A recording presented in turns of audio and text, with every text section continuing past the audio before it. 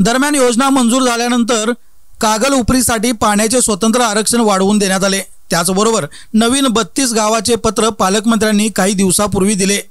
त्यामध्ये योजना मंजूर करताना या गावांचा समावेश नव्हता आणि या गावाचा पाणीसाठा गरज बघून नंतर इचलकरंजीच्या पाण्याचा निर्णय घ्यावा असे म्हटले. त्यामुळे इचलकरंजीकरांच्या मनात शासनास इचलकरंजीला पाणी द्यायचे आहे का नाही असा प्रश्न निर्माण होत आहे.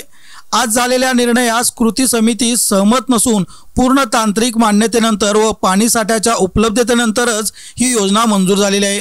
असे असताना निव्वळ बैठक घेऊन इचलकरंजीकरांच्या तोंडाला पाने पुसण्याचा प्रकार केला असल्याबाबत इचलकरंजी सुळकुड योजना कृती समितीच्या वतीने शासनाचा निषेध करण्यात येत असल्याचे समितीचे समन्वयक प्रताप होगाडे यांनी म्हटले आहे.